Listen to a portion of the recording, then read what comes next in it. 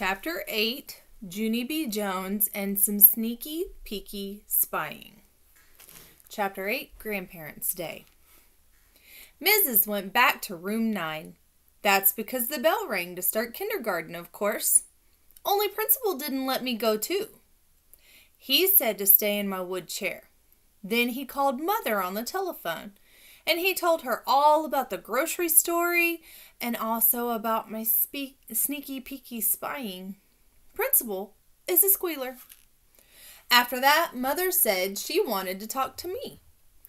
Only when I said hi, she didn't even say hi back.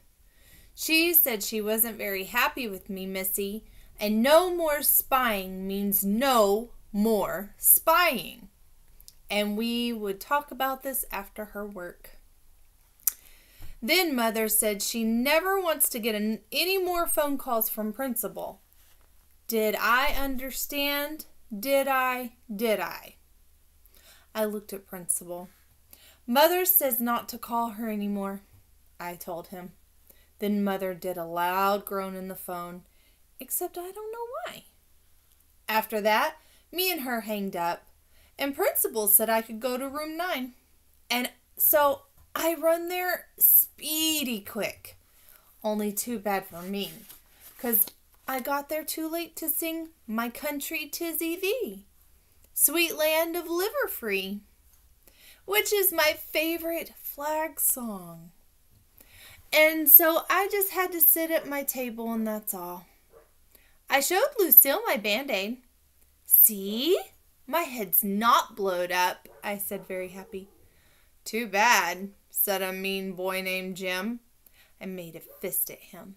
Then me and him got into a scuffle. Scuffle is a school word for I accidentally tore his shirt. Only guess what? I didn't even get in trouble. Because just then my grandparents came to room 9 for Grandparents' Day. Hey, there's mine! There's mine! I hollered very excited. Mine is the grandpa with the baldy head. Mine too, said a girl named Charlotte. Mine too, said my boyfriend named Ricardo. Then a grandma with blonde hair came in and she had on long red fingernails and dangly earrings with jewels on them. That's my Nana, said Lu- Lucille. I smiled at her. Your Nana looks like a money bags, Lucille, I said. After that, another grandma came in and she runned over to that Jim I hate and she tried to hug him very tight. Only that mean Jim just kept on standing there, and he didn't even hug her back. I tapped on her. I will hug you, I said. And so then me and her hugged real tight.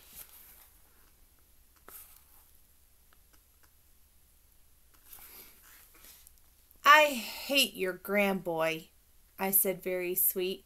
Just then, Mrs. clapped her loud hands together and she made the grandparents sit down in the back of the room.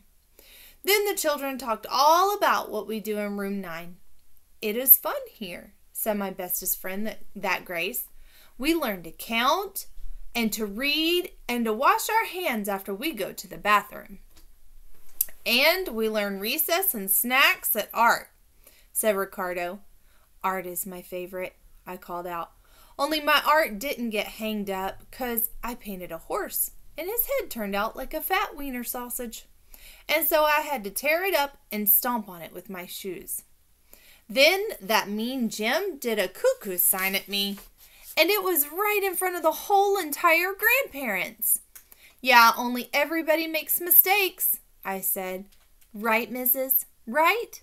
Because on Saturday you kissed a strange man at the grocery store and then you stole a bunch of grapes, and so even teachers make mistakes, right?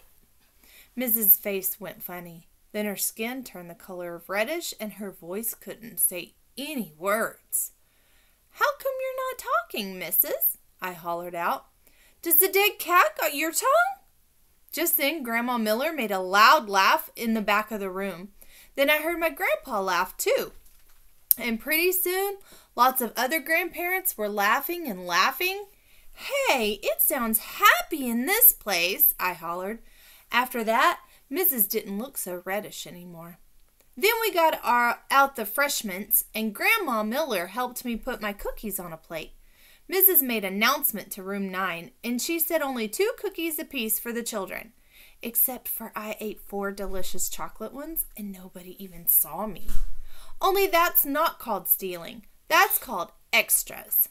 After the freshmen, the grandparents had to go home to their houses, and so I hugged my grandma and grandpa very much. And then I hugged that mean Jim's grandma too, and also Lu- Lucille's Moneybags Nana. Love your earrings, I said. Then Mrs. saw me being polite, and she smiled very nice at me. Mrs. has white teeth. They are just like my Grandpa Miller's teeth, only hers don't come out, I think. Except I'm not for sure positive. And so, guess what? I still wish I could hide in her hamper. That's what. At the end.